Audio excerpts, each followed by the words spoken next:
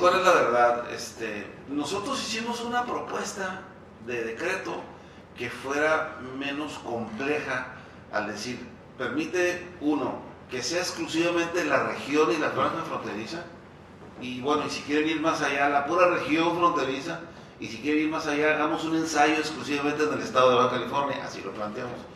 Aunque en la propuesta hablamos de la región y la franja fronteriza.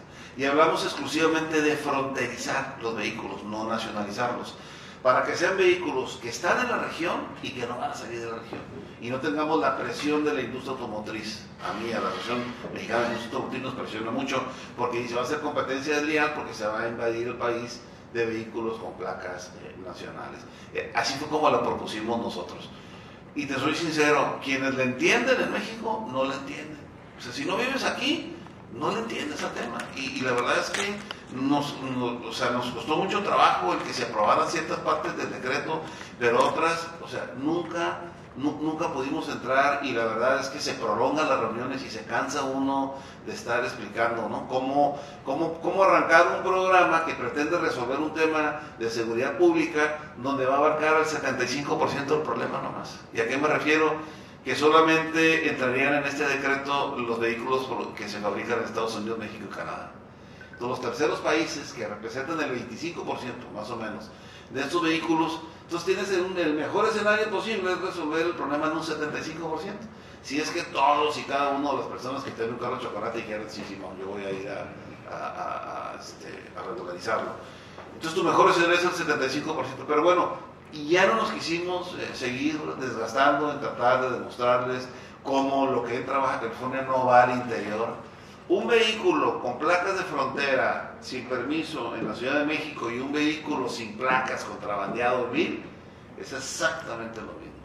Y no terminan de entender. Ellos creen que porque están placas de Baja California ya pueden circular libremente al interior. No, las placas fronterizas no pueden salir de aquí. Pueden con un permiso, como cualquier auto con placas norteamericanas, con permiso también puede ir al interior. Pero bueno, esas partes nunca este, terminaron de, comprenderlas. A la hora que hablas de, regularizar vehículos, dicen, no, pero es que los tienes que importar. No, no los tienes que importar, son vehículos que ya están aquí.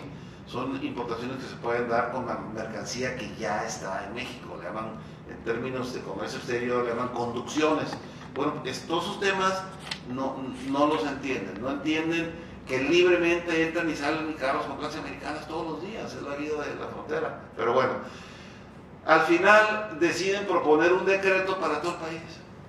Entonces, con la idea de que no se vea que se quiere beneficiar a Baja California o a los estados fronterizos, dice, no, no, que cualquier gobernador de cualquier entidad federativa lo pueda solicitar. Entonces, creo, que no lo sé, que el presidente dijo, van a creer que es un programa electorero para que pueda impactar a nivel nacional en las elecciones el hecho de poder regularizar seguramente millones de vehículos.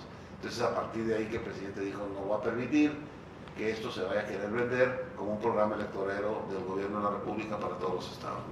Entonces eso complica en este mes que falta, va a ser hasta julio. No, ya una, yo una salida, si a mí me dicen por qué el presidente habiendo dicho esto, cómo pudiéramos lograr este, arrancar un programa, si es que hubiera ganas de hacerlo, pues yo diría, bueno, número uno, el, proceso electoral no ha arrancado en Baja California. Entonces este decreto lo puedes publicar mañana, pasado, la semana que viene, dos semanas, porque todavía no arranca el proceso electoral aquí, en el resto del país ya arrancó. Pero nadie me lo está preguntando, yo no digo que si me lo preguntaran, sería lo que yo dijera. Secretario, en ese esquema, ¿cuántos carros entrarían entonces? ¿Cuántos en, en, la propuesta que ustedes hacen y en lo que se puede En la propuesta que nosotros hacemos, eh, pues yo te, voy a hablar de números, pues si no alegres, este si tenemos 800 mil carros, pues estamos hablando de que lo máximo que pudiéramos regularizar sería alrededor de 600 mil. Con la cuota que había mencionado.